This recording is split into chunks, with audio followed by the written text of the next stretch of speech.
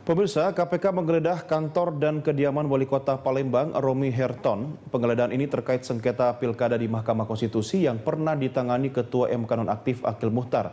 Dan untuk mengetahui informasi terkini terkait hal itu, kita tergabung bersama reporter Hari Luliansa saat ini berada di Gedung KPK Jakarta.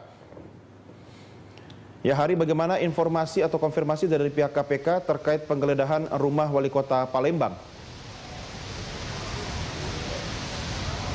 Ya benar sekali Doni memang Komisi Pemberantasan Korupsi atau KPK pada Selasa ini kembali melakukan penggeledahan terkait kasus sengketa pilkada yang ditangani oleh Mahkamah Konstitusi. Penggeledahan ini dilakukan di kediaman Wali Kota Palembang, Sumatera Selatan yang bernama Romo Herton.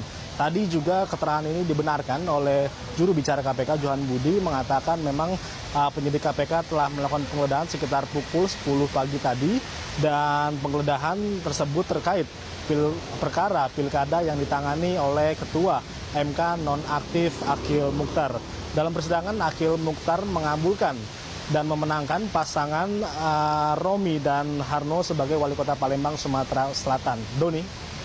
Ya, Hari, apa ada barang yang disita oleh penyidik KPK dalam penggeledahan itu?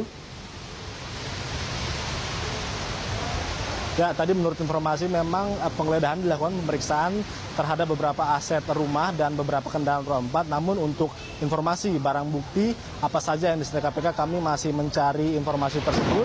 Dan untuk penggeledahan ini seperti yang kita tahu memang terkait perkara uh, sengketa pilkada yang ditangani oleh Mahkamah Konstitusi dan waktu itu ditangani oleh Ketua MK Nonaktif Akil Mukhtar. Dan Akil Mukhtar saat ini telah ditahan oleh KPK.